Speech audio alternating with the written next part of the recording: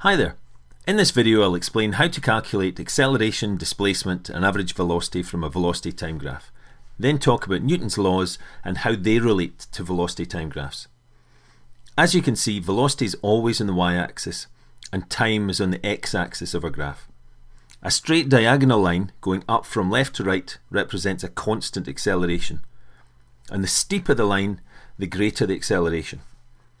A horizontal line represents a constant velocity, and a straight diagonal line which goes down from left to right represents a constant deceleration or negative acceleration. If the object had the same decrease in velocity over a shorter time like this, then the deceleration would be greater. I'll add numbers to both axes, then calculate the acceleration for each section of the graph.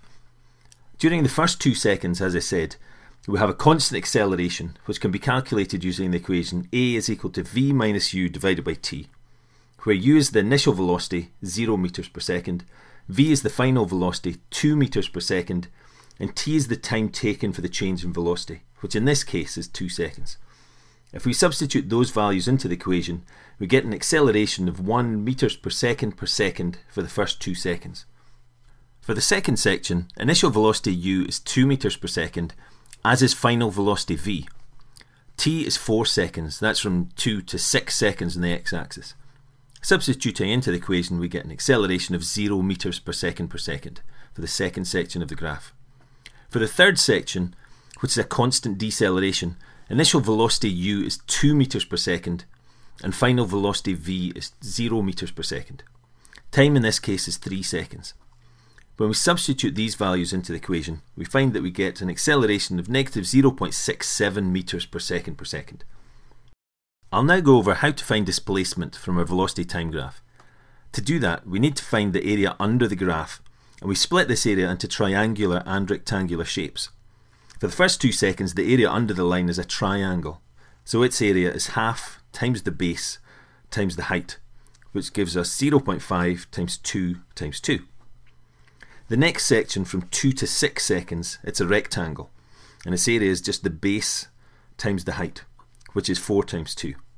The last section is a triangle again, so its area is half times the base times the height, giving us 0.5 times 3 times 2. If we add up all three areas, we should get a displacement of 13 metres. This value can then be used to calculate the object's average velocity using this equation average velocity v bar is equal to displacement over time. We found that the total displacement was 13 metres and total time was 9 seconds, so average velocity is 13 divided by 9, which is 1.44 metres per second.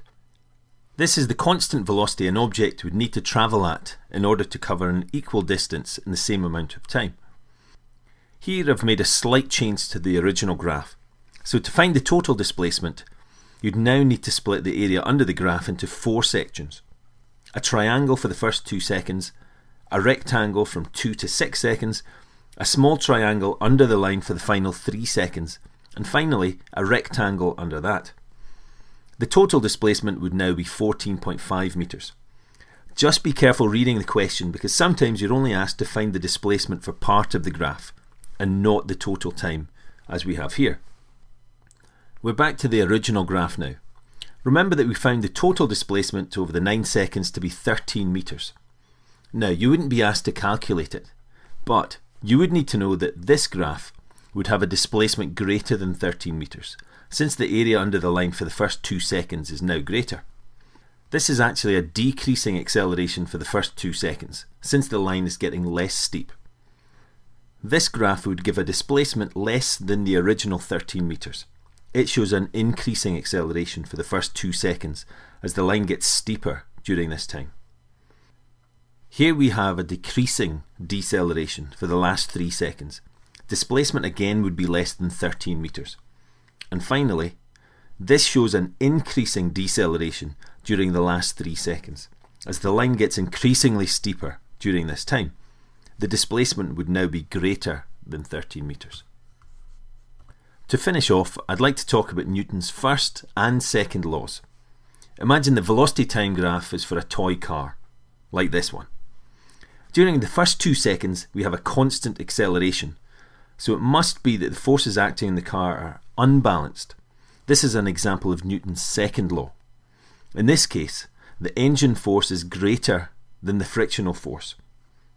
Having calculated the car's acceleration, we could use the equation F is equal to ma to find the unbalanced force acting on the car, as long as we know its mass.